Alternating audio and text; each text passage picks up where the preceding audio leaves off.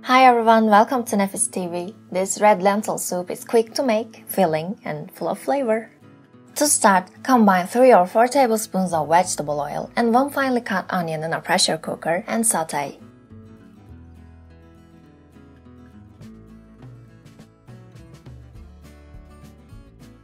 Add in 1 grated carrot and 1 cubed potato and continue to saute.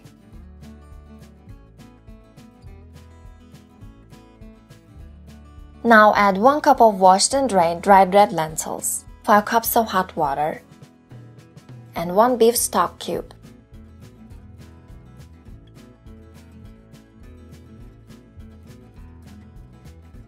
Close the lid of the pressure cooker and cook for 10 minutes after boiling.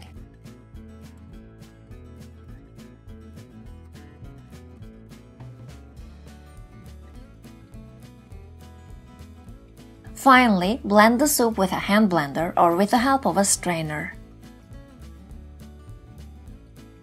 It is best served with a squeeze of lemon and drizzle of paprika-infused melted butter. Hope you enjoy!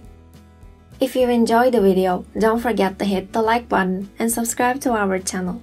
Please comment below for further questions. Thanks for watching!